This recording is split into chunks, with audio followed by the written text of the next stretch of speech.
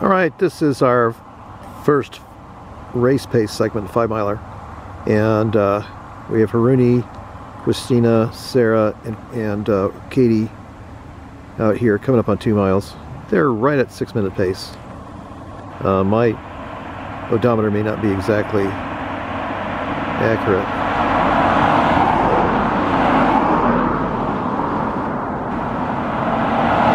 Uh, out here on Jay Road, looking good.